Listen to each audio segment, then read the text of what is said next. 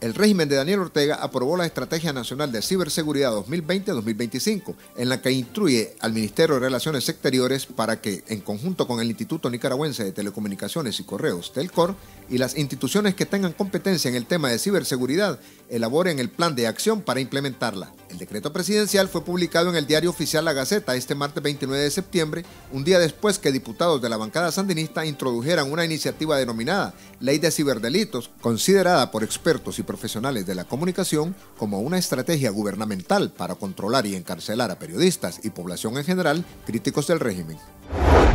Luego que el 23 de septiembre la jueza orteguista Deyanira Traña dictó veredicto de culpabilidad en contra de la periodista Calúa Salazar, jefa de prensa de Radio La Costanísima de Bluefield, por los delitos de calumnia a dos ex trabajadoras de la alcaldía de El Rama, este martes 29 de septiembre se leyó la sentencia donde se le impuso a la periodista la pena mínima de 120 días multas, equivalentes a 7.684 Córdoba con 58 centavos.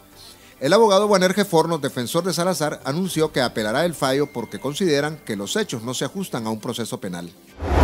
El Ministerio de Salud informó este 29 de septiembre que en la última semana en el país solo se registraron dos fallecidos por COVID-19 la institución sumó en 7 días 97 casos confirmados, 15 menos que en la semana comprendida entre el 15 y el 22 de septiembre. De acuerdo con los datos oficiales del MINSA, hasta el 29 de septiembre se confirman 5.170 pacientes positivos con COVID-19 en el país. Además, reconocen en total 151 decesos desde que se oficializó el primer caso de la enfermedad el 18 de marzo de 2020. Un total de 171 periodistas latinoamericanos han perdido la vida a causa del virus del COVID-19 entre marzo y agosto de 2020, confirmó la Federación Internacional de Periodistas. Los datos de la FIP colocan a Nicaragua junto a El Salvador y Guatemala como el séptimo país con periodistas fallecidos en cumplimiento de su deber a causa de la pandemia.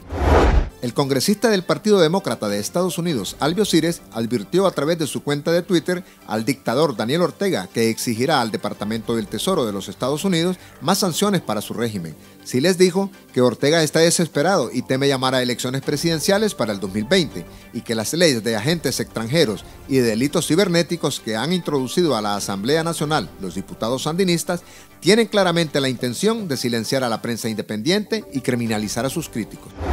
Síganos en nuestras redes sociales e informes en nuestro sitio web